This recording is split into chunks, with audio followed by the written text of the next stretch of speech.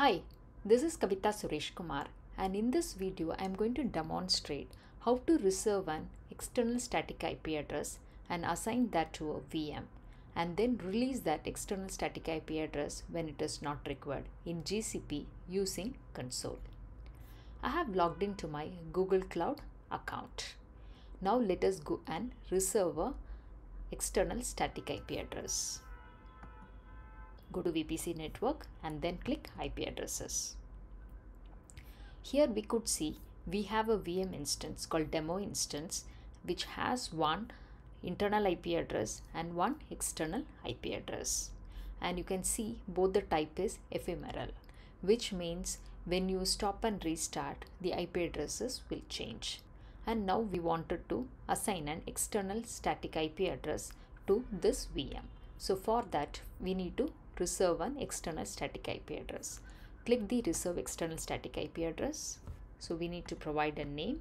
So I am going to provide a name as demo IP and then I'm going to leave remaining everything as a default. So we'll leave it as the premium network service tier and the IP version is IPv4 and the type is regional and then the region it's again we need to select the region of the VM so I'm going to leave it as the default because this is the region in which I have my VM provisioned. So now we have two options in which we'll be able to assign this external static IP address to the VM. One is because already we have the VM so we can select this attach to and attach the VM instance to this static IP address and then click reserve.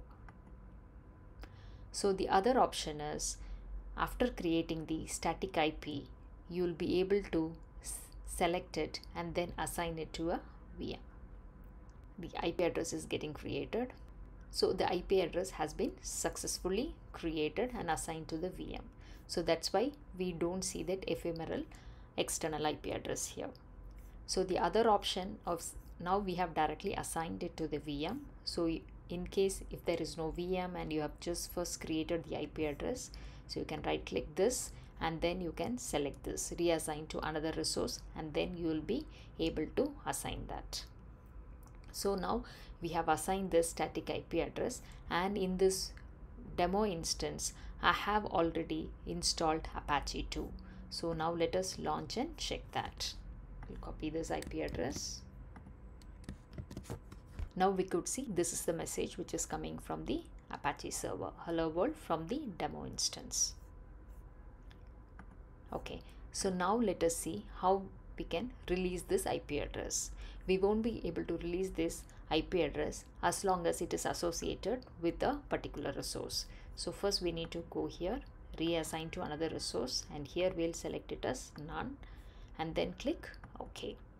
Now we could see this demo IP static IP address is no longer assigned to any VM and we could see when we removed this static IP address we got an external ephemeral IP address assigned to this particular VM.